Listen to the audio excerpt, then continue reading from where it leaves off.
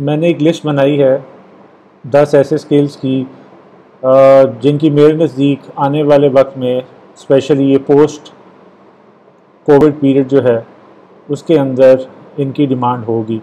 और स्पेशली हमारे वो लोग जो एज अ फ्रीलांस काम करते हैं, उनको इससे फ़ायदा हो सकता है।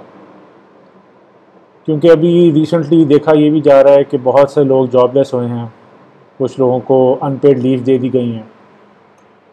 तो हम इन स्किल्स को देखते हैं और ये भी देखते हैं कि इनमें से हम लोग किस चीज़ के ऊपर काम कर सकते हैं जो फ्यूचर में हमारे as a source of income बनेगा। तो जो पहली चीज़ है वो है डिजिटल ट्रांसफॉर्मेशन कोचेज़ अब, जिस तरह से आप लोगों ने देखा है कि हर चीज़ तो अब लोग ऑनलाइन करने की कोशिश कर रहे हैं। छोटे जो बिज़नेस हैं या मीडियम साइज़ के जो बिज़नेस हैं, उन्होंने रिसेंटली ये रियलाइज़ किया कि अगर ऐसी सिचुएशन क्रिएट हो जाती है फ्यूचर में भी तो उनके पास जो स्टॉक्स पड़े हुए हैं दुकानों के अंदर, उसको वो कैसे डिस्पोज ऑफ़ करेंगे? तो अब ये वो वक्त है जहाँ पे हमें ऐसे लोगों की ज़रूरत है जो कि इन स्मॉल और मीडियम बिजनेसेस को हेल्प आउट करें to make an online presence और ऑनलाइन प्रेजेंस का मतलब ये है कि प्रोड्यूस कर सकें हम लोग डिजिटल कंटेंट क्योंकि ज़ाहिर सी बात है ऑनलाइन प्रेजेंस का मतलब ये तो नहीं है कि आपने सिर्फ़ चीज़ों की तस्वीरें खींची हैं और ऑनलाइन पोस्ट कर दी हैं, वो बिकना शुरू हो जाएँगी। आपको कंटेंट की ज़रूरत है और फिर उस कंटेंट को शो करने के लिए आपको उसको ऑप्टिमाइज़ करने की ज़रूरत भी है। और ऑप्टिमाइजेशन के बाद आपके पास कुछ ऐसा प्रोसेस होना चाहिए जिसके थ्रू आप लीड जनरेट कर सकें। और स्पेशली मतलब उस, वो सारा स्नैरियो आएगा जहाँ पे ऑनलाइन मार्केटिंग की आपको बहुत ज़रूरत पड़ेगी। और ऑनलाइन मार्केटिंग का मतलब ये है कि जब आपको कंटेंट बनाना है तो आपको कॉपी राइटिंग भी करनी पड़ेगी तो आपको कॉपी राइटर्स भी चाहिए हैं। तो ये सारी चीज़ें, वो एक शख्स या एक एजेंसी आपको प्रोवाइड कर सकती है, जो कि इस चीज़ में एक्सपीरियंस रखती हो ऑनलाइन प्रेजेंस क्रिएट करने में। आप ये कह सकते हैं कि ब्रांड बिल्डिंग में आपको हेल्प करे।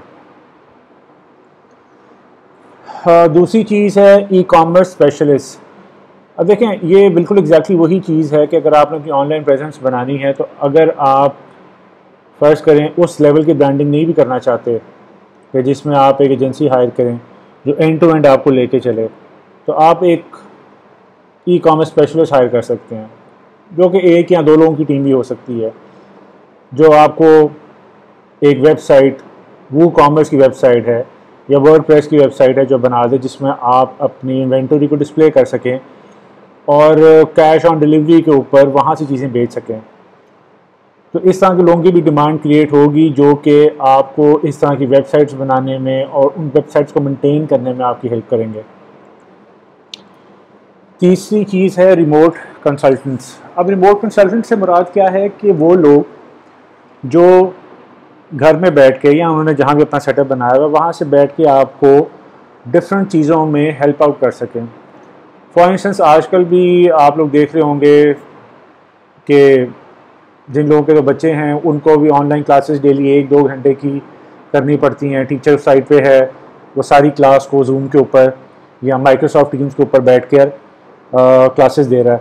इसी तरह से रिमोट कंसल्टेंट्स हैं, अब वो एक फाइनेंशियल एनालिस्ट भी हो सकता है, एक सप्लाई चेन मैनेजर भी हो सकता है।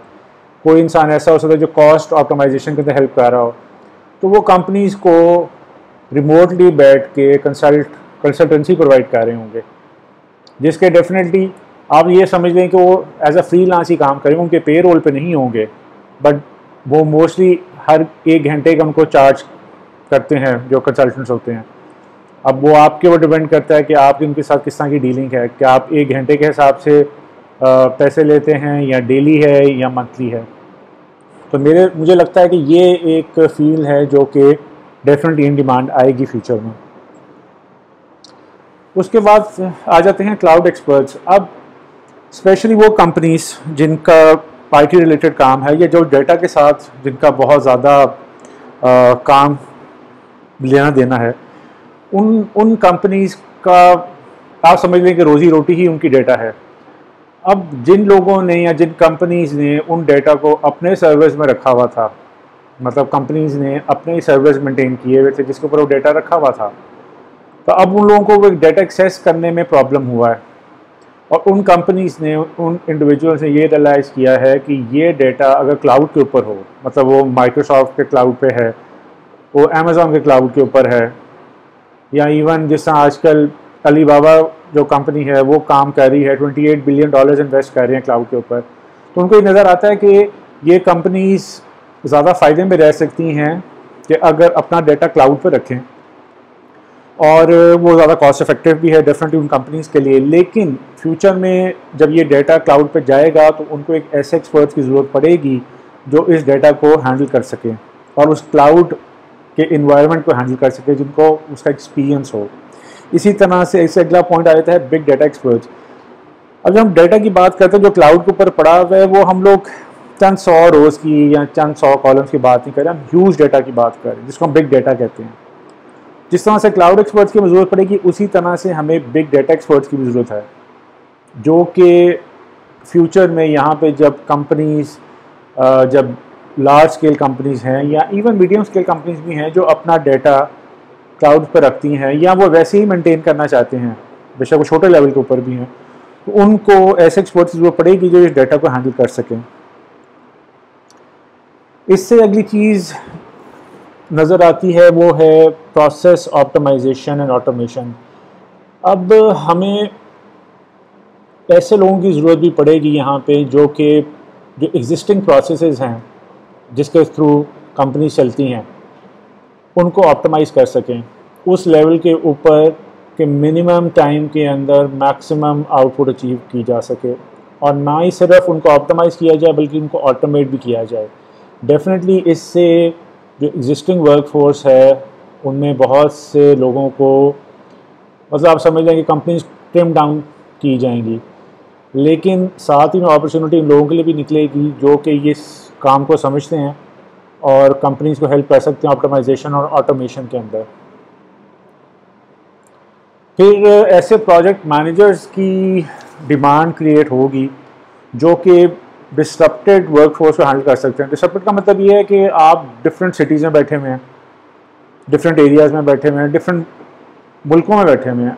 अब आपको कोई ऐसा प्रोजेक्ट मैनेजर चाहिए जो कि ये एक्सपीरियंस रखता हो कि इस तरह की टीम्स को उसने किस तरह से हैंडल करना है। क्योंकि एग्जिस्टिंग सिनेरियो के अंदर भी लोग डिफरेंट जगहों में बैठ के काम कर रहे हैं और उनके मैनेजर्स इतने एक्सपीरियंस नहीं हैं कि उनको रिमोटली हैंडल कर सकें। तो ये भी एक बहुत अच्छा स्किल होगा जो कि सीखा जा सकता है और जिसके थ्रू फ्यूचर में कंपनीज़ के साथ काम किया जा सकता है। फिर ई लर्निंग एक्सपर्ट्स जिस तरह से अब अब आप यही देख सकते हैं कि हमारे जो एजुकेशन सेक्टर है उनको अब अब इस वक्त ऐसे लोगों की बहुत ज़रूरत है जो कि ई लर्निंग के बारे में कुछ जानते हों। क्योंकि उनको बेसिकली ये सिनेरियो कभी भी फेस नहीं करना पड़ा यहाँ पे। हमेशा क्लासरूम क्लासेस होती हैं जाते हैं, बैठते हैं टीचर्स पढ़ाते हैं। तो अब अब ये सिनेरियो बन गया है कि उनको ये सीखना पड़ रहा है कि किस तरह से ऑनलाइन क्लासेस कंडक्ट की जाएँ। ई लर्निंग के थ्रू किस तरह से क्लासेस हो सकती हैं। और फ्यूचर डेफिनेटली अब लोग यूज़ टू होना शुरू हो गए हैं तो कोई बड़ी बात नहीं कि फ्यूचर के अंदर ई लर्निंग जो है वो इससे ज़्यादा पॉपुलर हो जाए जितनी एक नॉर्मल हमारे स्कूल्स हैं। इसी तरह से फिर जब चीज़ें आपकी इवेंचुअली ऑनलाइन चली जाती हैं हर चीज़, फ़र्ज़ करें कोई चीज़ क्लाउड के ऊपर है, कोई आपका सर्वर मेंटेन कर रहा है तो आपको ऐसे लोगों की भी ज़रूरत पड़ेगी जो कि ऑनलाइन सिक्योरिटी प्रोफेशनल्स हैं। ऑल दो की ये एक बहुत ही हाईली पेड जॉब है और अच्छे ऑनलाइन सिक्योरिटी प्रोफेशनल जो हैं, वो आपको बहुत मुश्किल से ही मिलते हैं। तो आप समझ सकते हैं कि ये एक ब्लेंड होगा उन लोगों का जो कि समझ लें ई लर्निंग के अंदर भी हैं या ई कॉमर्स स्पेशलिस्ट हैं और वो कुछ ऑनलाइन सिक्योरिटी का इतना पार्ट समझते हैं कि वो आपको ये सर्विस भी प्रोवाइड कर सकें उसी के साथ। और लास्ट में है वर्चुअल असिस्टेंट्स वर्चुअल असिस्टेंट्स वो लोग हैं जो कि रिमोटली कहीं पे भी बैठ के अपने घर में या ऑफ़िस किसी जगह पे बैठ कर वो आपको वर्चुअली एडमिनिस्ट्रेटिव टास्क आपके बिहार पे परफॉर्म कर रहे होते हैं। वो ईमेल चेक करने से लेके बुकिंग्स डिफरेंट जगहों पे करने से लेके आपके लिए मीटिंग सेट करना इवन लोगों को ईमेल्स करना और इस तरह की मुख्तलिफ़ चीज़ें हैं। तो मुझे लगता है कि ये वर्चुअल असिस्टेंट्स की भी डिमांड बढ़ेगी डेफिनेटली और और ये इस तरह का काम है जो कि आप इजीली सीख सकते हैं। ये मोरलेस एडमिनिस्ट्रेटिव टास्क है और जिसको सीखने के लिए कोई बहुत ज़्यादा एफर्ट नहीं चाहिए। तो ये वो दस चीज़ें थी जो, दस स्किल्स जो मुझे लगता है कि पोस्ट कोविड जो है ये हमारे मुल्क में इनकी डिमांड क्रिएट होगी। और ये अच्छा टाइम है घर में बैठ के। मोस्टली लोगों के पास इंटरनेट है, लैपटॉप्स हैं, फ़ोन्स हैं। आप इन्हीं टॉपिक्स को या इनसे रिलेटेड टॉपिक्स को जाके सर्च करके और उसके ऊपर अपने आप को अपडेट कर सकते हैं। आपको कोई